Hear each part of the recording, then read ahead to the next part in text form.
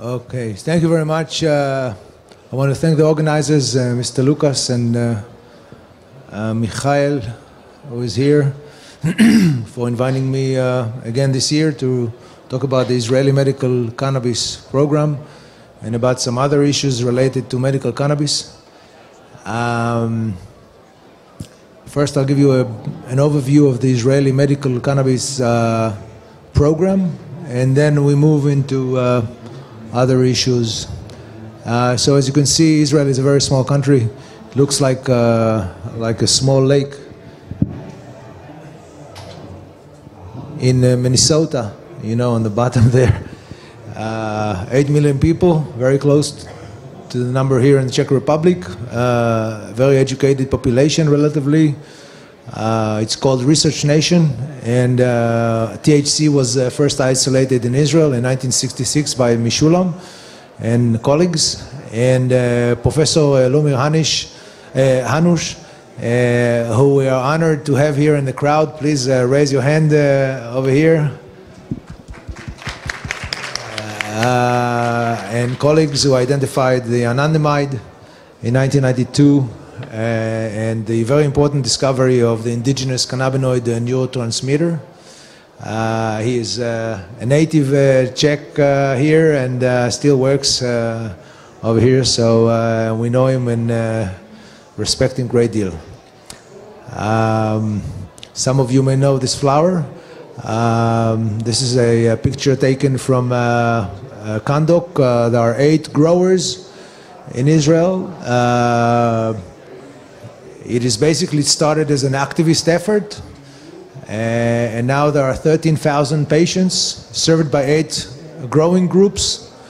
Uh, Israel is the third country in the world uh, to have a national medical cannabis uh, uh, program or agency after Holland and Canada.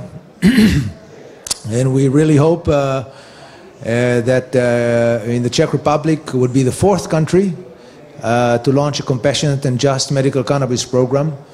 Uh, and uh, so uh, the Czech Republic is not the first, and uh, there's nothing, there's no need to invent the wheel every time. There are rules and regulations, and we'll talk about them later, that can be followed and to be part of UN drug conventions. The Dutch were the first to establish such an agency that, uh, according to UN drug convention, is required. This is a brief history of uh, the program in Israel. in 1991, uh, the gentleman on the uh, left is uh, Professor Mechoulam.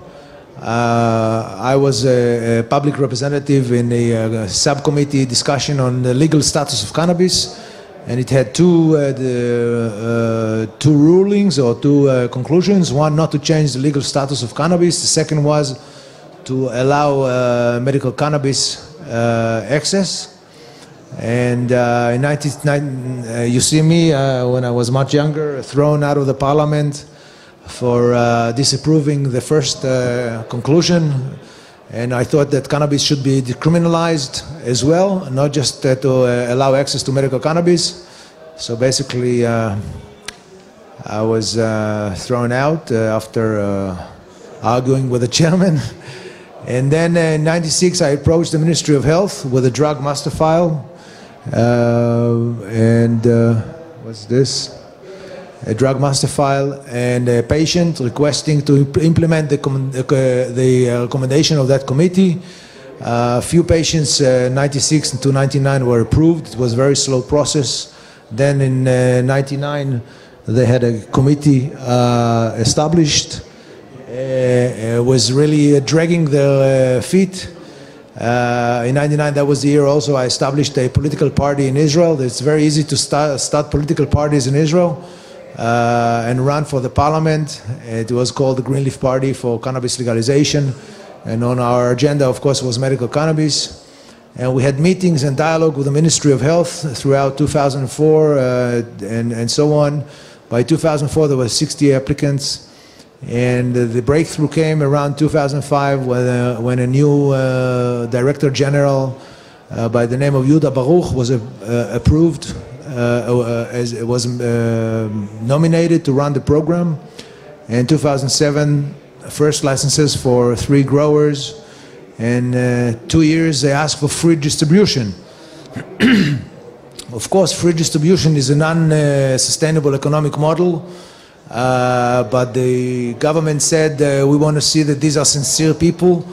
So uh, the growers had to give away free cannabis for a while, which was really uh, put them in a uh, financial hole. It was very difficult to get out of that. And um, in 2009, uh, they opened a distribution center. and in 2013, based on a cabinet, government cabinet decision, uh, the Medical Cannabis Agency was established.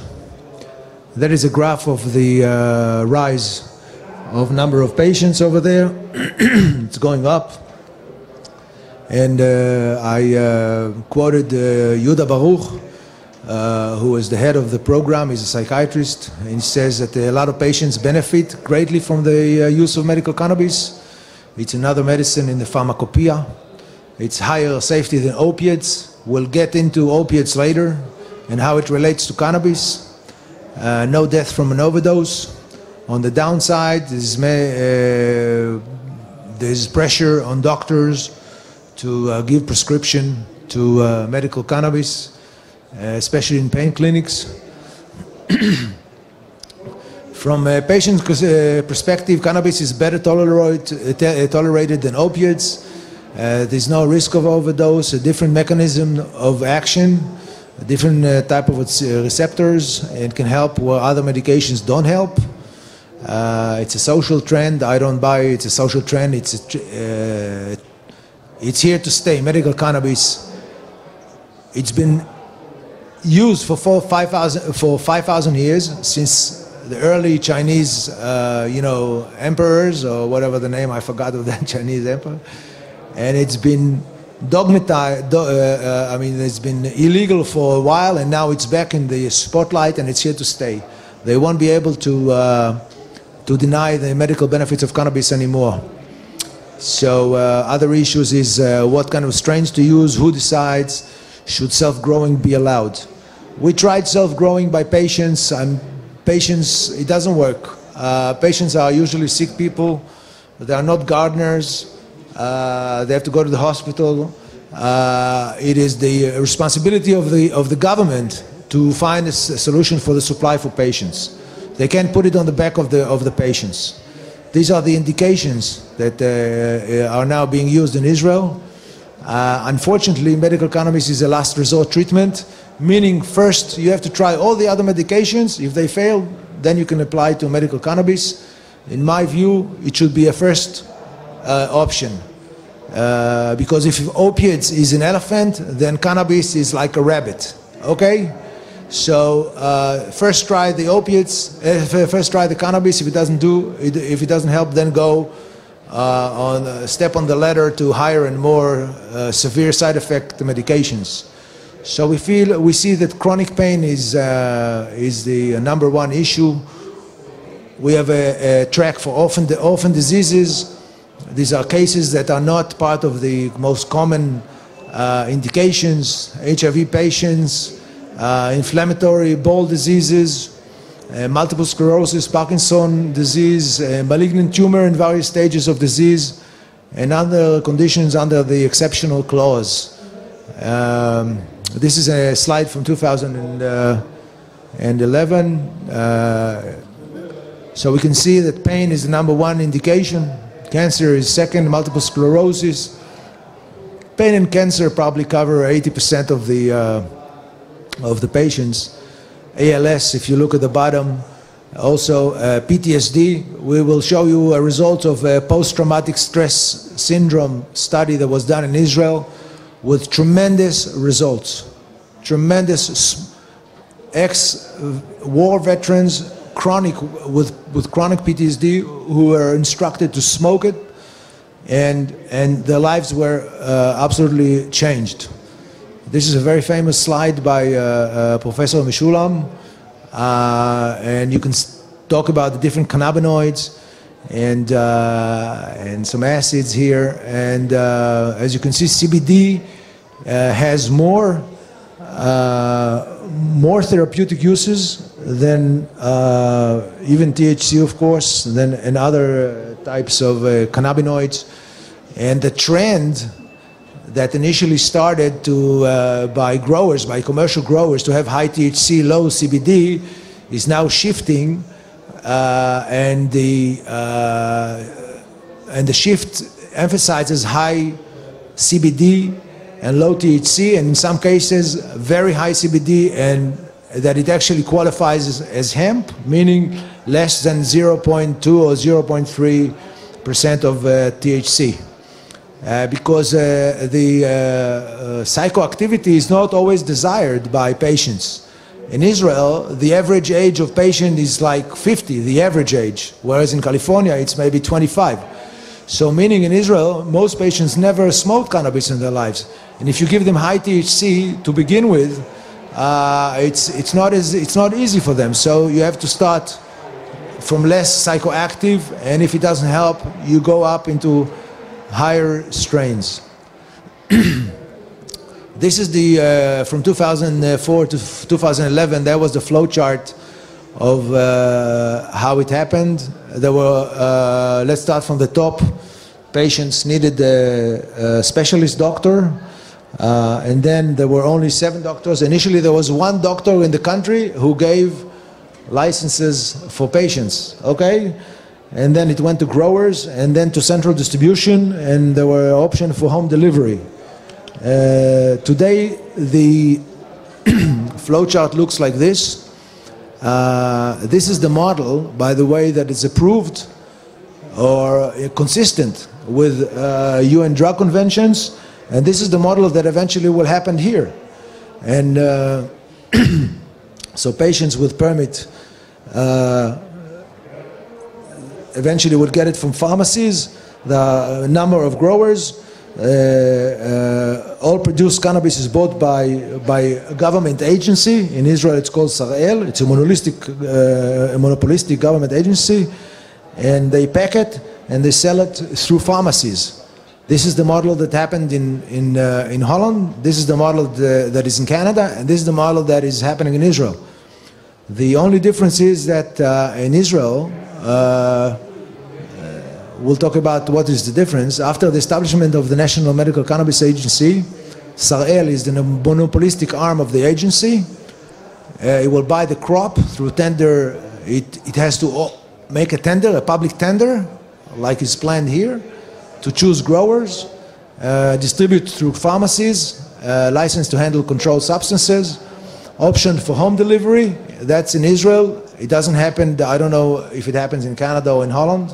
It, does it? Uh, anybody know if uh, home delivery uh, happens? Uh, no, no, okay. Option for trial and er in Israel, they allow for trial and error to try different strains.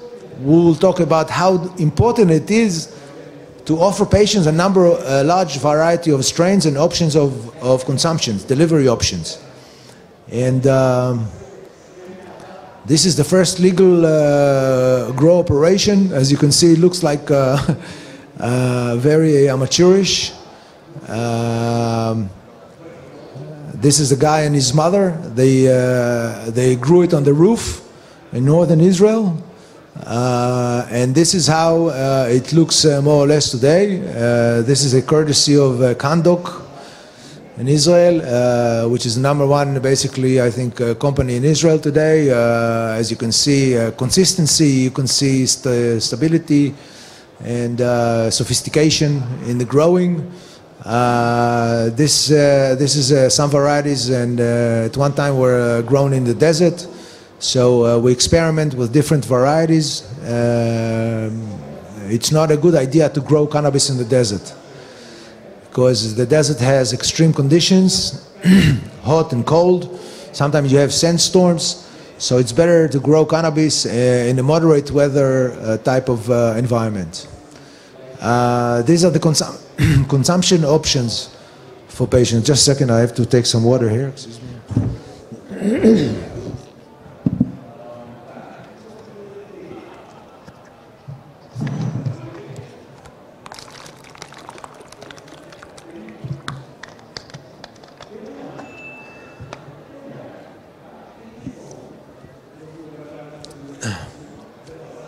Okay, so you had time to read through it and see the slide. You can see uh, different variety, the flowers, the oil, the uh, they banned, they stopped selling, allowing uh, the sale of brownies or, or, cookies or with a very strange uh, uh, excuse, the government said, or the mayor agency said that uh, you cannot produce food with consistent quantities every time. I don't buy it. I don't know why they said it. Uh, you can see uh, uh, some type of oil or ointment, joints, and vaporizer. In some hospitals in Israel, in oncology departments, cancer patients can use vaporizers.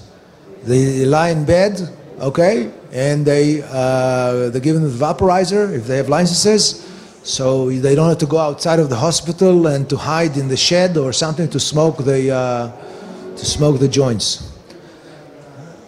A real difference, I think, uh, between the Israeli medical cannabis and other uh, national Dutch and Canadian is the education part. And I have to emphasize here to the uh, audience here in the Czech Republic, whoever or from other countries, uh, who is who is from the Czech Republic here? I'm sorry, I, can I ask?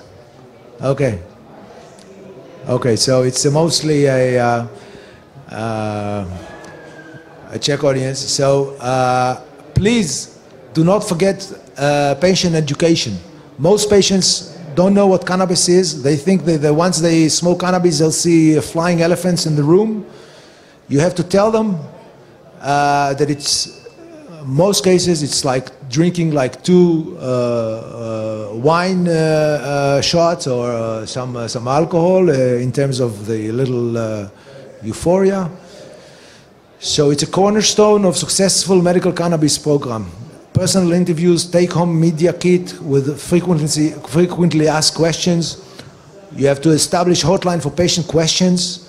There's a lot of uncertainty. there are insecure people who are sick and they need uh, uh, an ear, yes, to answer the questions.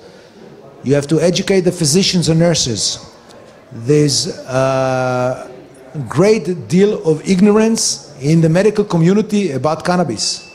The curriculum is not incorporated in, uh, in medical schools. You have to build curriculum. There's now an international effort that we are trying to also do help is to build this curriculum uh, and integrate it into medical uh, for physicians and nurses. Uh, you have to organize conferences. You have to make it part of continuing education credit for the, uh, for the medical, uh, medical staff.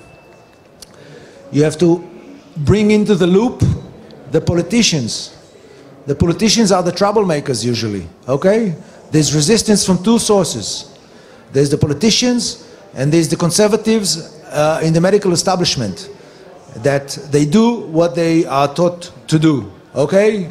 Is to give opiates and to give all these hardcore medications with tremendous side effects, and cannabis for them is uh, toxic or I don't know what, because they've been brainwashed by government propaganda for many years about cannabis, okay? Because it's an outlawed drug. So uh, you have to be nice to the politicians, invite them into the loop, and share the information with them. Luckily, we have the internet today, so the government doesn't does not uh, uh, have monopoly on information anymore. So if someone wants to learn about cannabis, medical cannabis, they can do so. so this is a uh, another. Uh, so the Israeli medical cannabis program has gained in reputation because of its professionalism and the care that it will not be abused. This is another picture from uh, uh, that company, Canndoc. Uh, and this is Herbalgram. Herbalgram is the American Botanical uh, Association uh, magazine. And if you can see here, this the underlined. For the first time, they put cannabis in the front cover. And uh, the American Herbal Pharmacopoeia is developing the standards monograph and therapeutic compendium, the first of its kind in North America. And the American Herbal Products Association of Cannabis Committee just released a draft recommendation for regulators on the legal dispensation of medical cannabis. So you can use that uh, in America. So uh, when a patient comes to Israel, uh, you make an interview. I think this is something that needs to be done here and everywhere, also uh, uh, in other countries. Uh, I hear that there are maybe Portugal will be after the Czech Republic and so on. You have to ask them, what are you suffering from, how bad it is, how long, what kind of medications you are taking. What we see here in Israel, for example, that people who are very, very sick, who take five or six or seven medications, once you get them on medical cannabis, they go down to two medications or one medication. So what you'll see here is an opposition by the pharmaceutical industry that is making money from these patients. And for them cannabis is a threat for their profits okay? So and it's happening. Uh, have you smoked cigarettes and so on? Uh, you have to explain them what are the possible side effects. There are side effects sometimes. Uh, cannabis doesn't work for everybody. It works maybe 70 80% of the, of the people it works for whoever suffers from severe side effects from cannabis should stop it it doesn't, uh, it doesn't help. It's especially good in geriatrics, by the way. Many people who suffer from, I think, uh, maybe cannabinoid deficiency syndrome, I call it, which is, this have to be expanded by uh, researchers. Exactly how you measure that deficiency. When you introduce cannabinoids into the system, suddenly there's a whole set of activity that uh, does wonders uh, for these people. This is the PTSD. How much time do I have? Um, I have time, right? Okay. This is the uh, story of a small pilot study on PTSD, post-traumatic stress syndrome patients, war veterans from the 1973 war. Okay, so we're talking 40-year-old, I mean, I mean veterans who suffered from chronic PTSD for 40 years. So the truth of the matter is, the modern pharmacopoeia cannot help these people. They give them anti uh, psychotic medications, they give them uh, uh, SRIs, they give them anti epileptic medications, they and nothing works. So in this study, they took 30, uh, 29 subjects, they gave them uh, to smoke cannabis 23% uh, THC with, with little CBD. 100 grams per month, which is a lot of cannabis. The average consumer of medical cannabis in Israel smokes maybe 27, 30 grams, one gram a day, okay? And it was added to their standing treatment subjected to, uh, uh, subjects were instructed to smoke the cannabis daily at times, uh, frequency and amounts on their own choosing. Smoking cannabis, from a government point of view, is the least preferred option. But from a patient point of view, if you see uh, in many countries, the patients prefer the smoking over the oil and over the other options. And the reason is that they can titrate they, uh, themselves much better through the lungs and through an immediate uh, uh, entry of the cannabis into the bloodstream, whereas if you eat it or you take it in drops, it takes much longer to make an influence and it lasts much longer. So if the smoke affects uh, are over after two, three hours, if you swallow cannabis, if you digest it, it lasts much longer and usually it has higher psychoactivity if you take the same amount of cannabis uh, uh, through uh, digestion rather than smoking. and these are the results. After cannabis treatment, a significant decrease in total CAPS is the uh, score of uh, PTSD. And in three subsections of the test was seen, specifically the severity of intrusion, intrusive symptoms, which are most characteristic of PTSD, dropped by half within two months of treatment. The severity of avoidance symptom, avoidance is like they hear a noise and they try to avoid it, dropped by 38%, two months of treatment. Uh, severity of the increased arousal symptoms dropped by 43% within two months of treatment.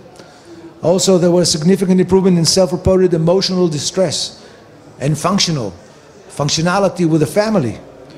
Uh, a marked improvement uh, in the assessment of subjects uh, in the uh, DSM-4, specifically an improvement 45% was seen in the general evaluation of subject's psychological state after two months of treatment. Tremendous results. This is a groundbreaking uh, study that was done in Israel. They need to expand it. The United States have a quarter of a million war veterans from Afghanistan and Iraq. And the federal government, the US federal government, is blocking medical cannabis research. And there are many PTSD patients who are from the NATO forces I'm sure here in the Czech Republic as well, because you're part of NATO, and you should let the Ministry of uh, uh, uh, Defense and the Ministry of Health know about this study.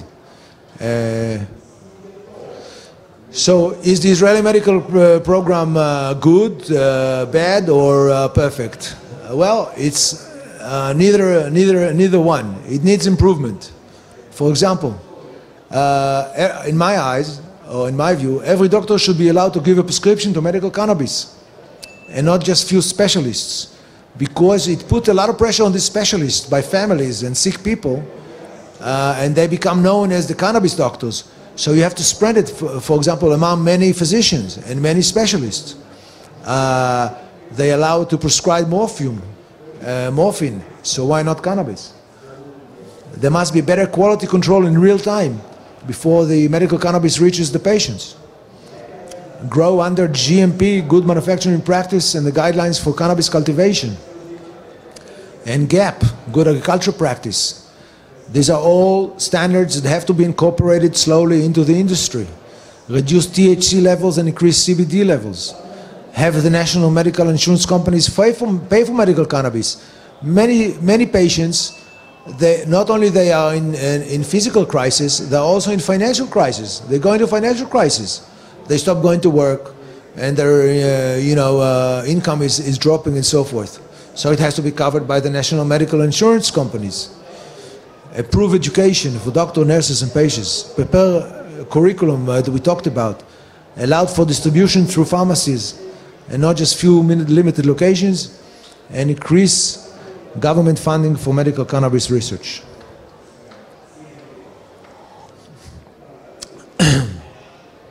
so, it's very uh, convenient for many governments says, uh, I'm not going to establish a medical cannabis agency, I'm going to import the buzzword. I'm going to import the medical cannabis from Holland. Okay? Because Holland is the only country that exports medical cannabis.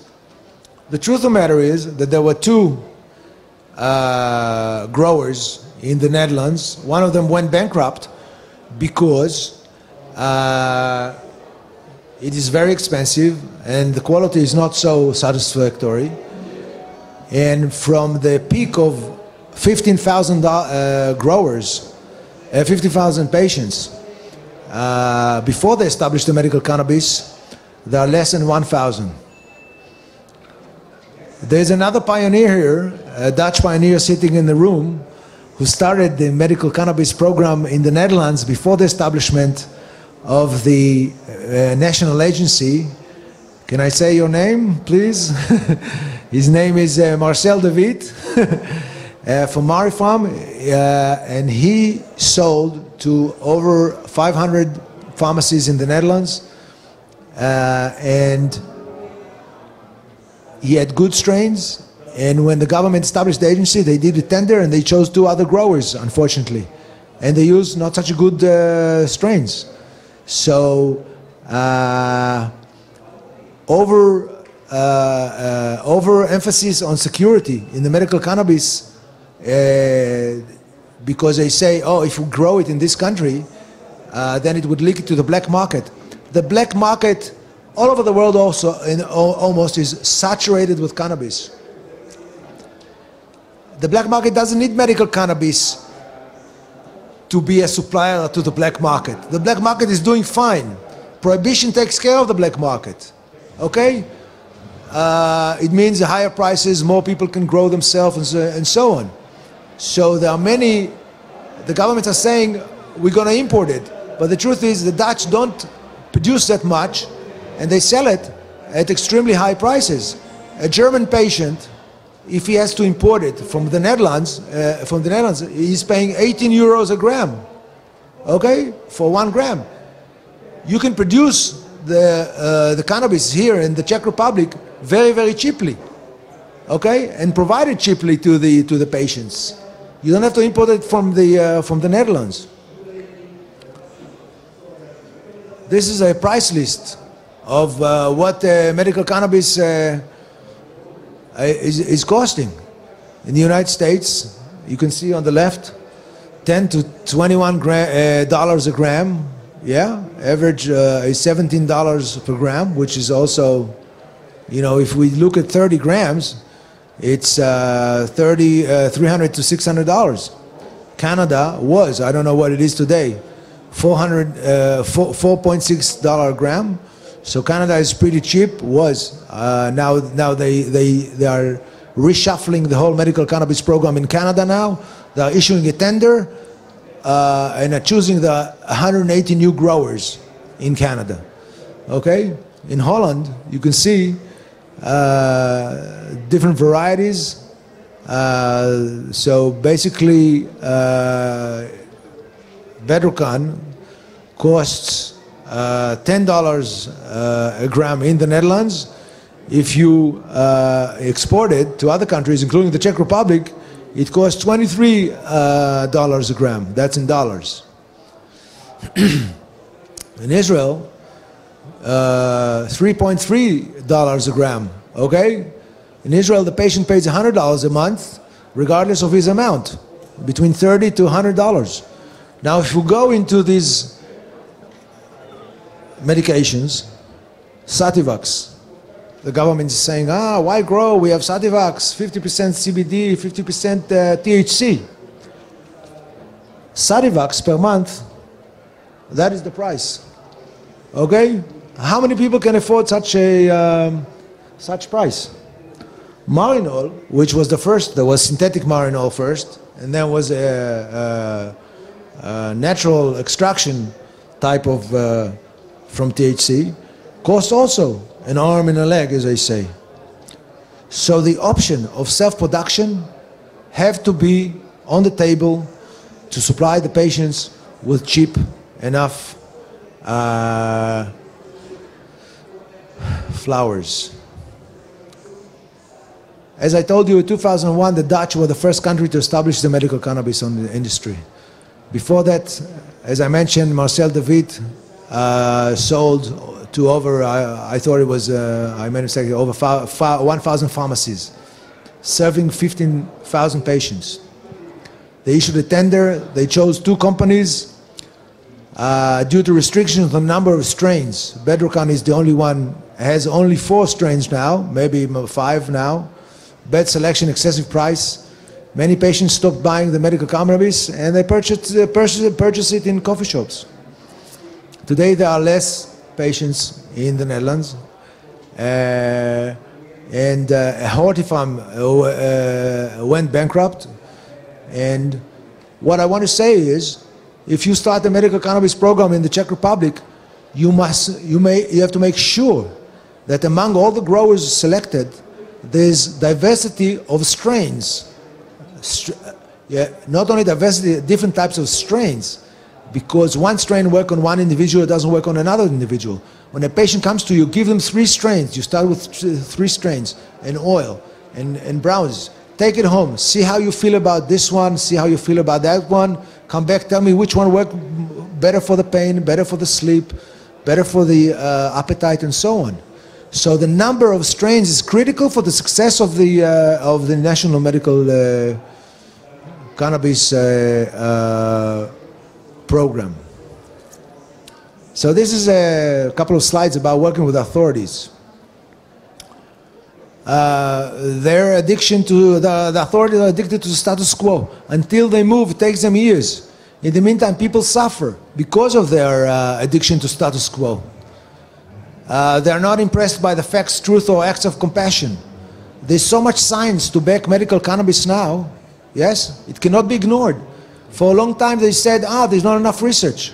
You know why there wasn't enough research? For a very long time, because the US government, NIDA, the National Institute of Drug Abuse, didn't allow any researcher to have his own, uh, uh, his own uh, supply uh, for medical cannabis.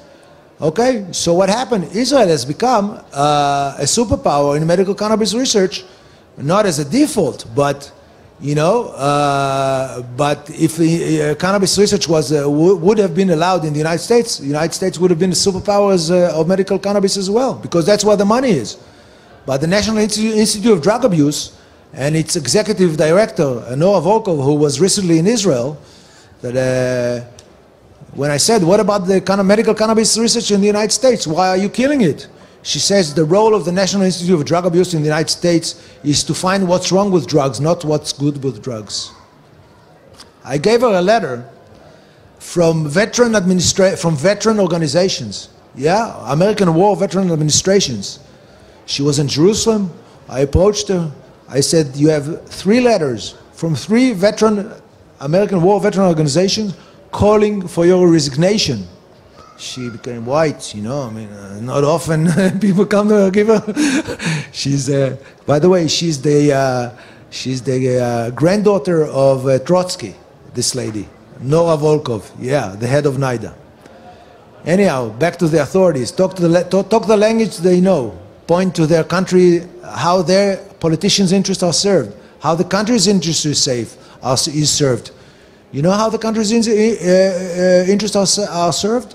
When you have a national medical cannabis program, not only people are, are helped, not, not only it's an act of compassion by the government, but it also saves money for the government, for the Ministry of Health. You know why? Because you, when you take all these patients with these expensive medications, you have to pay for the pharmaceutical companies in, the, in, in Holland, I'm sorry, not in Holland, in EU, in the United States, which cost hundred, hundreds of dollars a month. When you give them cannabis, suddenly they reduce the number of, uh, of, of, uh, of, uh, of drugs, they, of, of, of, of, of pharmaceuticals they take from other sources. You have to work with authorities. You have to uh, uh, continue dialogue, be brief, prepare a book of abstract, show them that it's well researched now, safe and effective medicine.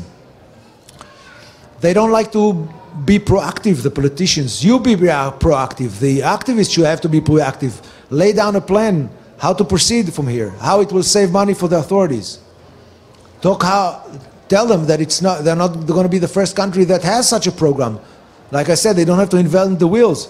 There are three countries and 17, now there are 20 states in the United States. So they should give them confidence to move ahead. Organize patients. Patients organizations are very, have a very important role in the process of pushing governments to launch medical cannabis uh, program. The Cancer Patient Association, the Multiple Sclerosis Association, they should go to the government and say, hey, in other countries people get medical cannabis. Why don't you get your act together? Make demonstrations, make them feel bad, make them look evil. Because not giving medical cannabis to patients and excess, that's an evil thing to do. That's an immoral thing to do, especially with what we know today. Now, as an activist, I have to tell you, you know, I mean, be prepared to pay personal cost. You may be hustled by the, uh, by the police, or you may be perceived as a, uh, you know, a pro-drug guy or whatever. I mean, if eventually you win, you know, you can uh, be considered a hero. I mean, don't hold your breath, as they say. I mean, you can either end up in jail, I don't know, in some countries, or become a hero. As Martin Luther King once said, first they ignore you, then they laugh at you, then, uh, uh, uh, then they take you into consideration, and then you win. Okay? So the first part, first they ignore you, then they laugh at you, is the part that is most dominant or the uh, is uh, has, has the longer time in, in, in every activist work. Build media.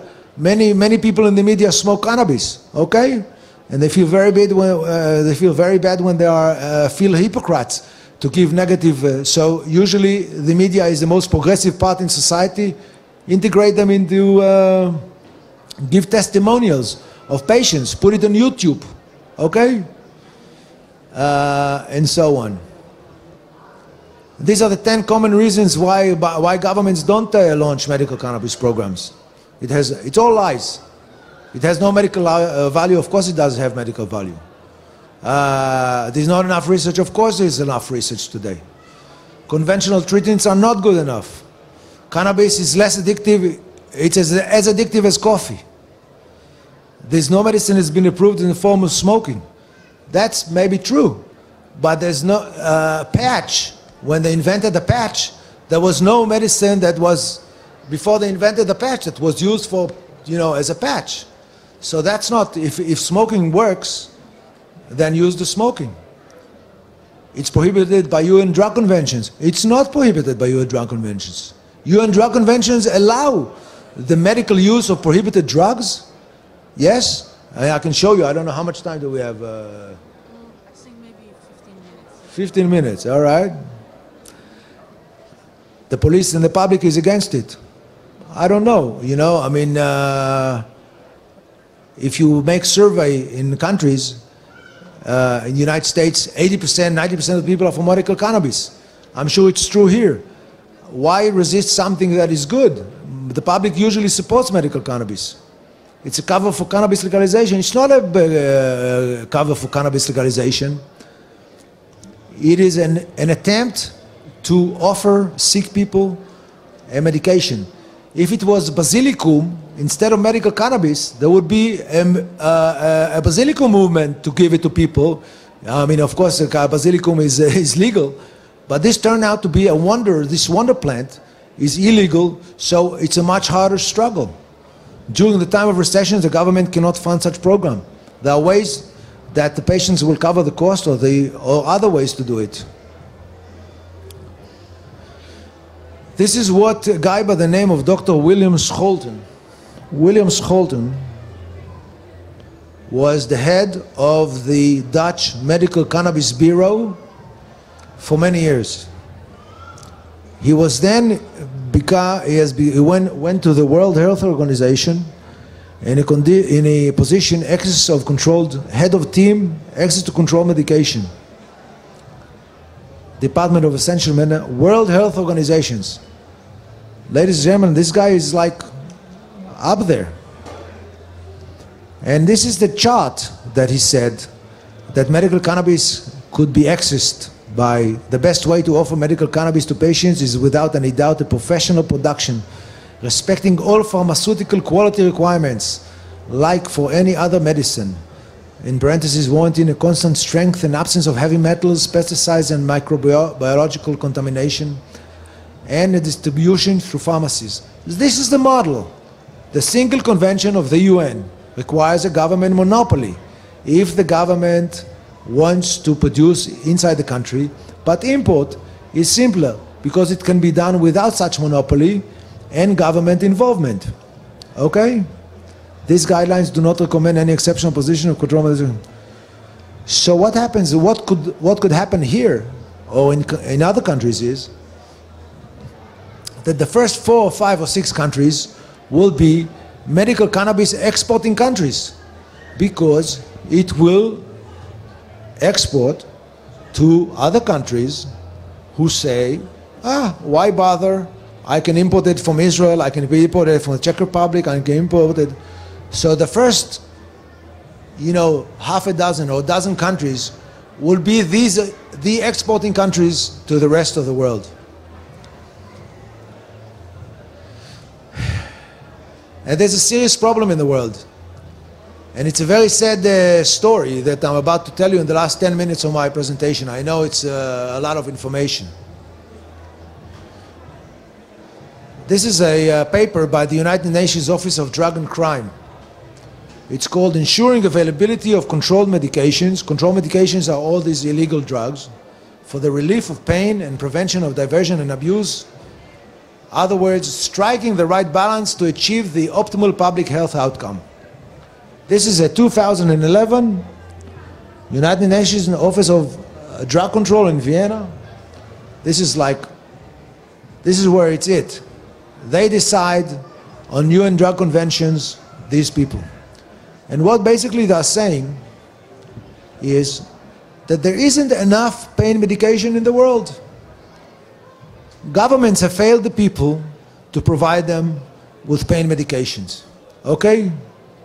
And they say this.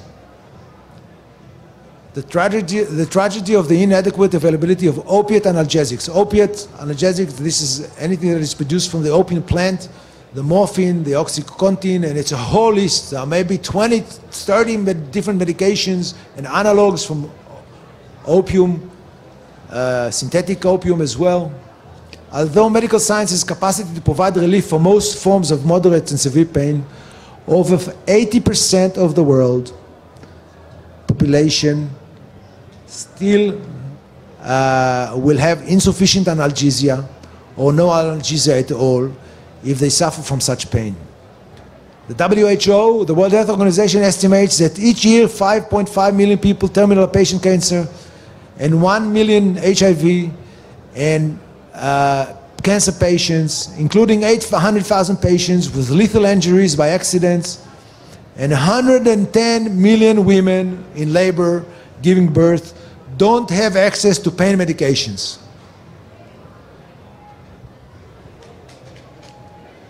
And you know why?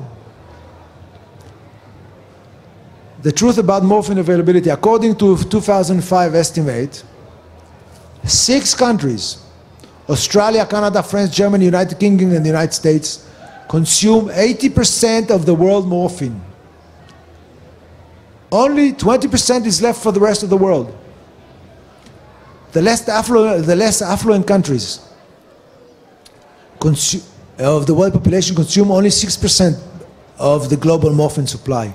Some countries have basically no access to morphine and other forms of supplies. Experts in pain management attribute the underdistribution of morphine to the unwarranted fear of the drug potential for addiction and abuse, meaning the UN, with its global influence, is saying to the countries, you know, you cannot have access, uh, don't start with uh, uh, morphine and other analgesia because it's uh, dangerous that it will reach the black market. The number one drug problem in the United States today, it's not heroin, it's not cocaine, it is uh, uh, pain medications. Okay, there are more opiate-related pain medication addicts in the United States today than heroin and cocaine combined. Okay?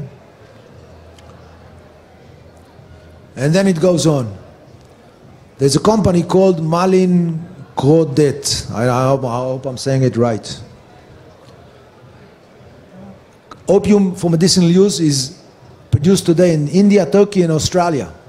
2,000, this is from the website, 2,000 tons of opiums are produced annually, and this supplies the world with the raw material needed to make medicinal products.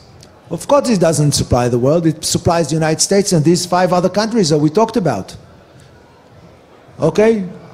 Now, I don't want to go into this uh, uh, too much uh, anymore, but the bottom line is that medical cannabis, okay, medical cannabis is a wonderful option to provide pain medication for those countries who don't have access to opiates. It is a moral crime of governments who are not offering their sick and dying people and the suffering medical cannabis as a substitute or as another option to opiates that these populations, these people uh, don't have access to.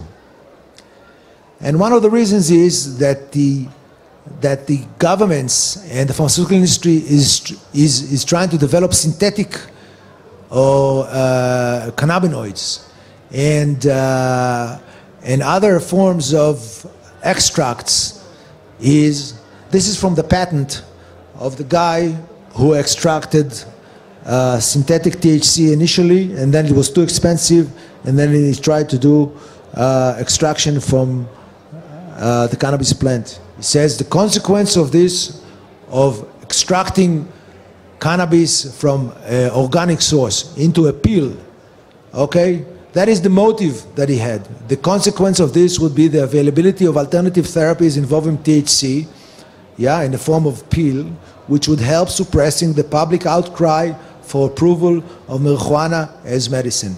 What this basically means is that scientists are collaborating with the governments to suppress access of, the, of, the, of, of nations to the flower. If they are trying to, pharma, pharma to, uh, to make cannabis a pharmaceutical agent that they can patent and make money. You cannot patent the flower, okay? The reason it took so long is that you could not patent the medical cannabis. And the pharmaceutical industry is now rushing into cannabis worldwide, trying to extract different cannabinoids. And here on this stage, and not only me, people are saying it's not going to work. Cannabis, access to cannabis flower is a holistic, as a holistic medicine, must be maintained, and it should be an option for pain and for all other uh, indications that I mentioned before. Thank you very much.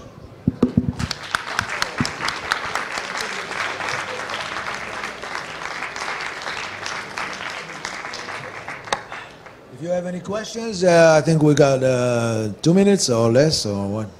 Máme pár minut na otázky, takže jestli vás někoho uh, něco zajímá, tak se určitě přihlašte.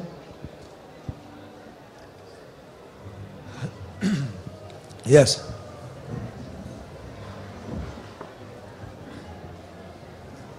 Hello, I wasn't here from begin- from beginning.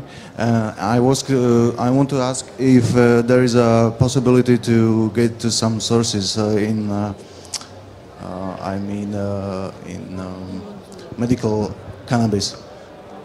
I don't understand the question. I'm. You want to say it uh, again? Yeah. Uh, is the is uh, is there some way how I can get to to some uh, sources? Uh, how uh, how is uh, the cannabis in a medical way used in Israel for medication for the patient which are, which are cured on cancer sickness? You have to,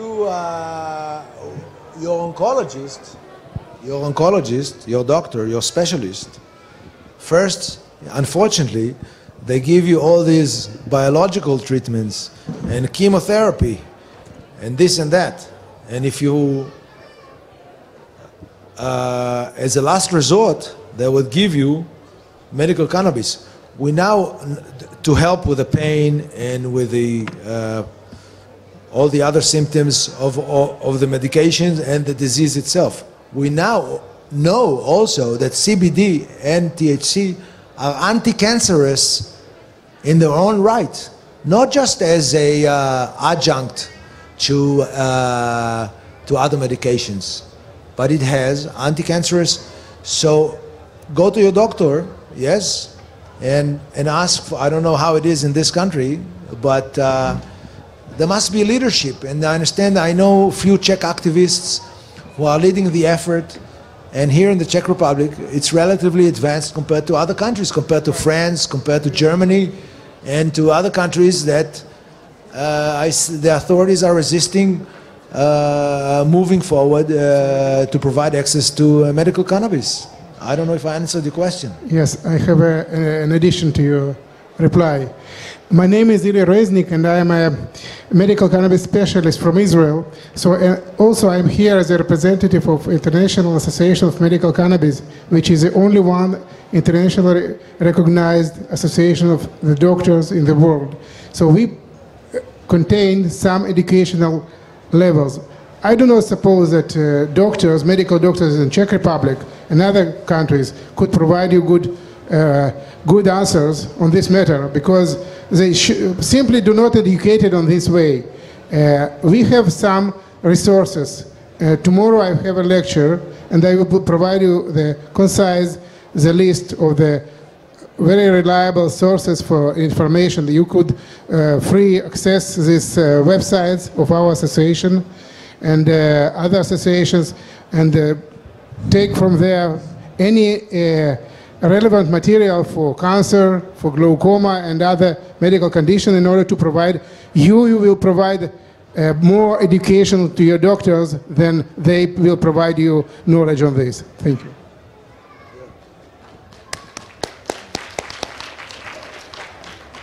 Dámy a pánové, bohužel už nemáme moc času na další otázky, takže to byl Boaz Wachtel z Izraele. Thank you very much.